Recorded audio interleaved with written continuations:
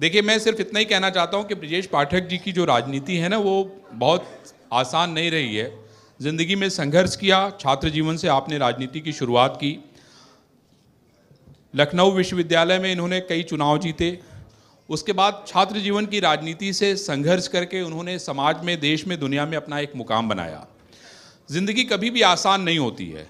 हर दिन आपको चुनौतियों से लड़ना पड़ता है और चुनौतियों से लड़ते हुए अपने आप को प्रूव करना पड़ता है। और जो व्यक्ति प्रूव कर लेता है, वही सितारा बनता है और देश में सूरज की तरह चमकता है।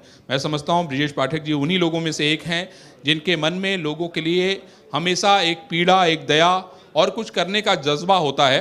और हमने हमेशा देखा कि कभी भी रात को एक बजे भी फ़ोन करिए। मैं आपको एक छोटा सा उदाहरण बताना चाहता हूँ। कोविड के समय में एक, हमारे जानने वाले की तबीयत बहुत ज़्यादा ख़राब हो गई।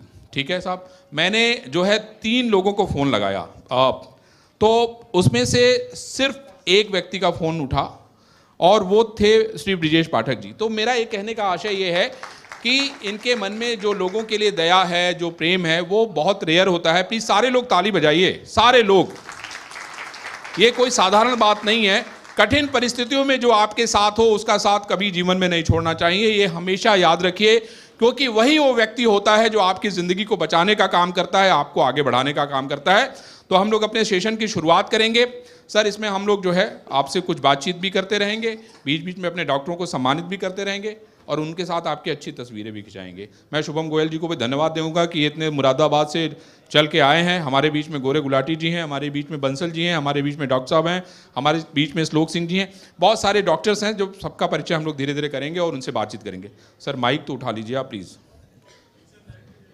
है ना? हाँ ये मामला ठीक है। तो सर, शुरू करें। अभी सर, जो सबसे इंपॉर्टेंट है, वो है भगवान राम का अयोध्या। उसकी पूरी दुनिया में चर्चा हो रही है। अभी आप कल ही अयोध्या से होकर आए हैं। हम लोग पिछले दिनों बातचीत कर रहे थे तो ये हो रहा था कि भाई अयोध्या में हम लोग जो स्वास्थ्य की चुनौतियाँ हैं उसको किस तरीके से टैकल करेंगे किस तरीके से देखेंगे क्योंकि दुनिया भर के लोग वहाँ पे आ रहे हैं। अयोध्या में बड़ी संख्या में श्रद्धालु आ रहे हैं। जी। 22 जनवरी को माननीय प्रधानमंत्री जी जब लोकार्पण करेंगे जी। उससे पहले और उसके बाद तक तो हमने कल अयोध्या में स्वास्थ्य विभाग के सभी अधिकारियों के साथ जी। संबंधित सभी जनपदों के अधिकारियों के साथ बैठ करके पूरी बिंदुवार समीक्षा की है और वहाँ सभी उच्च श्रेणी की चिकित्सा व्यवस्था उपलब्ध हो इस बात की व्यवस्था करके और उनको हमने निर्देश भी दिए हैं जैसे कि टर्सरी केयर में मान लीजिए किसी को हार्ट अटैक आ जाए हम्म। तो अयोध्या में ही उसको हम प्राथमिक चिकित्सा के साथ साथ उनको अगर एंजियोग्राफी कराना पड़ा एंजियोप्लास्टी कराना पड़ा वो भी हम वहीं करेंगे। हाँ बाईपास हम कैसे कर सकते हैं? इसके लिए हमने प्रबंध करने के निर्देश दिए हैं कि बाईपास करने का भी इंतज़ाम वहाँ पर रखा जाए। हम्म। इसके अलावा अन्य जो गंभीर रोग हैं जैसे कोई ब्रेन हेमरेज है या अन्य कोई इस प्रकार का अचानक कोई रोग किसी श्रद्धालु के शरीर में पनपता है तो उसके लिए भी व्यापक सारे इंतज़ाम करने के लिए हमने कहा है। जी।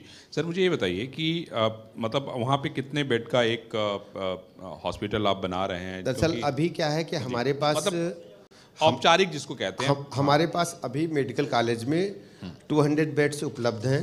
जी। डिस्ट्रिक्ट हॉस्पिटल में हमारे पास पर्याप्त संख्या में बेड्स उपलब्ध